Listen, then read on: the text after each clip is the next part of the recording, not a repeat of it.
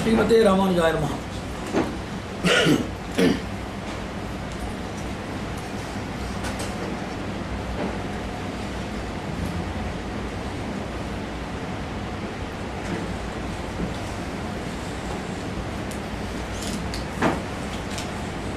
Like we are having taste buds for food and its appreciation. Yesterday we had a discussion about that. We are also having a specialized taste bud. Who is a human being? A human being is a person who is having a cognitive bud which can relish, rejoice, and perennially experience the benefit of wisdom. So, having wisdom, owning wisdom, enjoying the wisdom, sharing the wisdom, these are all the advanced cognitive buds of human beings.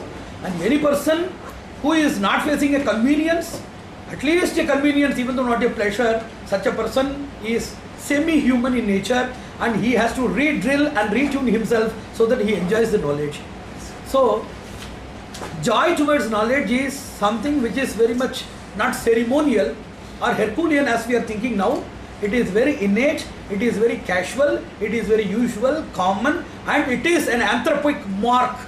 If you call it as a biomarker, you can call it also as an anthropic marker to enjoy knowledge, to enjoy the benefits of knowledge and share them. So, especially why I am quoting this because the most enjoyable knowledge is designing. Knowledge itself is enjoyable. In that, so just we call it as a combination of milk and honey, or milk, honey, and ghee, fruit juice and honey. Already those things are sweeter in nature. those things are more intensified if they are connected with a cocktail of various things which produce a culminative taste, uh, the non-saturable culminative taste, which consists of an inexhaustible rejoicement.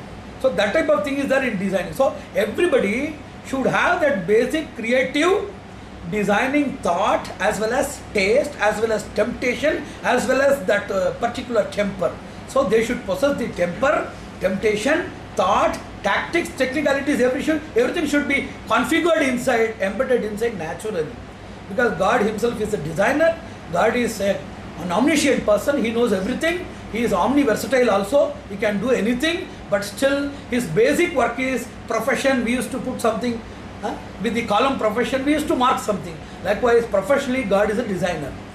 And number two, world is a design. So everything is within this model, pattern, system. Everything is under the impression of designing.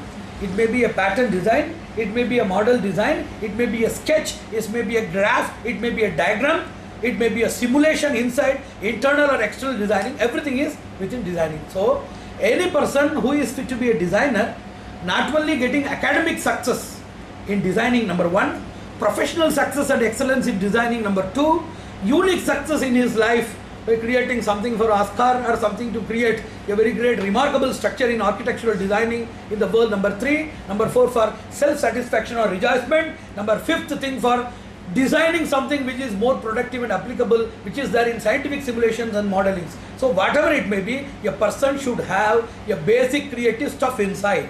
This is rule number one. Number two, he should develop an environment to make that creativity more productive, more applicable, more implementable, more seen in the ways of uh, practical visualization that he has to do. So, to know his innate ability to create an environment to boost his skills are the requirements for each and every person.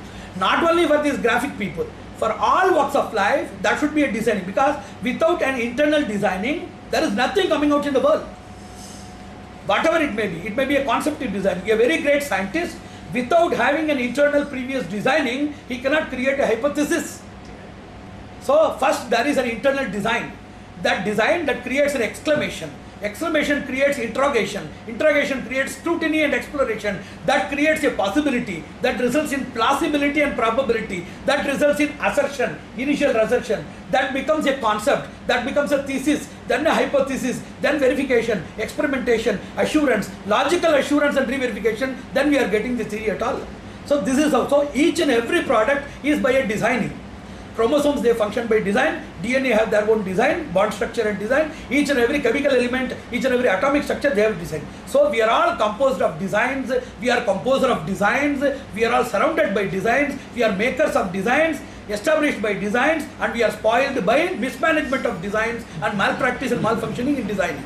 So the universal benefit, sustenance and progress is made out of designs and the collapse is also caused by non-designing, inappropriate designing, improper designing, non-precise designing, etc. So the whole world is a designery or a design machinery. So to start with, we have to start with only imaging. You cannot be continuously seeing things. There is an internal projection which is known as imaging. So I want to give you a few words about that. What is image? What is imagery? What is imagination? What is imaginary? What is imaginary engineering? So image is the replica which is created inside. A person should have that image. Whatever you see, exactly we have to produce. It is easily possible whenever we like that elements. Even though we see somebody inside the crowd, if they are so attractive or something specific concerned with our own natural inclination, we are having that in memory, otherwise not. So, a person's curiosity, intense desire, or a physical or a peripheral alluration, or a person's need and emergency, or a person's long felt desire, or a person's renewal of the cognitive thoughts of yester imprints that indicates a person to identify in spite of being in a big concourse. So this is entirely very different. So we have to make image.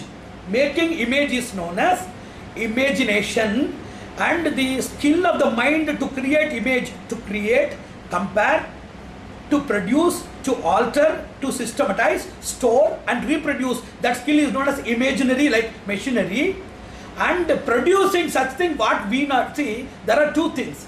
What the mind does is entirely different from what you want the mind to do. And if you just go by what the mind does then you are a person pulled by the mind. And such a person is always drawn by the gratifying senses. And if you can make the mind that is known as engineering. See if you are going in the way when the air blows or where the air blows that is not engineering if you make your vehicle move wherever you want to go, that is known as engineering. So, taking the steering activity, taking the proceeding activity, selecting the direction, accelerating the speed, halting wherever required, that is the vehicle. Vehicle is meant for selecting the direction, halting and accelerating and directing the speed, regulating whenever you require, which is very much common observable in all vehicles. That's why in our life also, what is engineering? Engineering is a skill by which instead of being directed or carried away